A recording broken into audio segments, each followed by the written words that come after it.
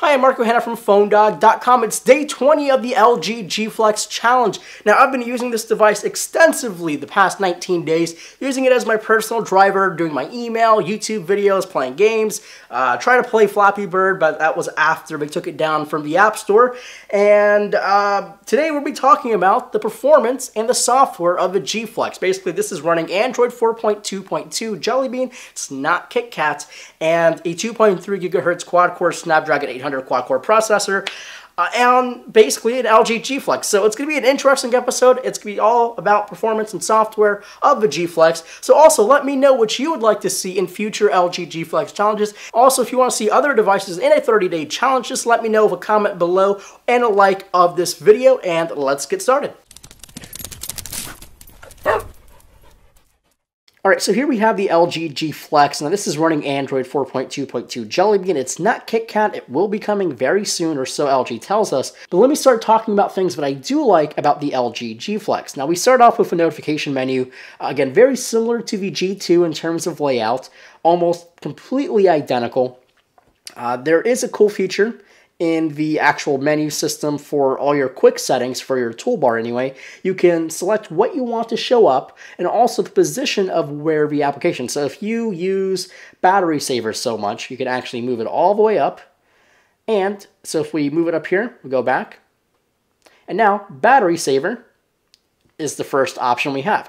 Now, the second one is called Q-Slide. Now, generally, I don't like this because, one, it's kind of limited to what you can actually run, and there's a much better multi-window-esque application that we'll talk about in just a little bit. So, uh, Q-Slide, anyways, gives you options for, like, simple applications like videos, phone, messaging, email, memo, uh, voicemate, file manager, calculator, calendar.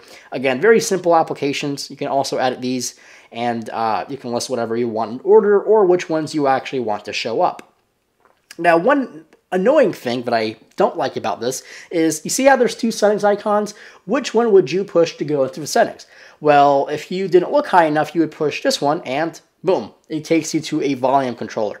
Uh, same problem on the G2. This one's actually your settings. They kind of moved it from, it was actually right above the uh, settings for the volume to this one. So it makes a little bit more sense. Still kind of confusing. I'm not exactly sure why we need a settings for audio on your toolbar, but I guess you can live with it there. Now let's get into the settings of a G Flex here. Now there's a couple of cool things that you could do. Now the first one I want to talk about is one-handed operation.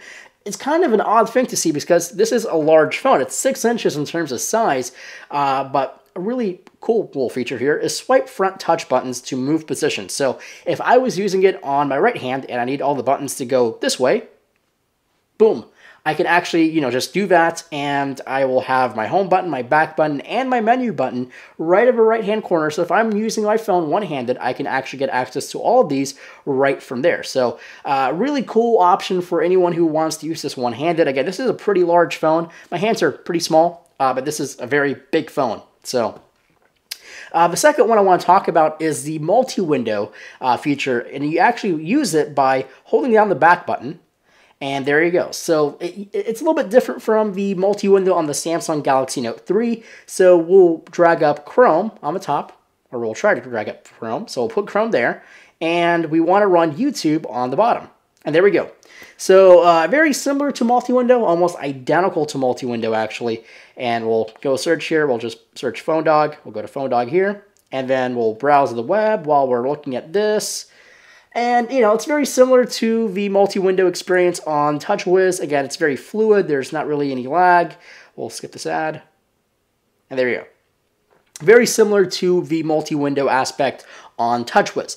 Now, in terms of performance, this has a 2.3 gigahertz quad-core processor, running applications like Google Chrome, for example, pretty simple. Now, PhoneDog.com is a very heavy website, especially for mobile Google Chrome, and phones like even the Note 3 has uh, a lot of trouble running their website very smoothly, and this phone, again, it's pretty quick overall. If you scroll really quickly, you can get it to lock up a couple times.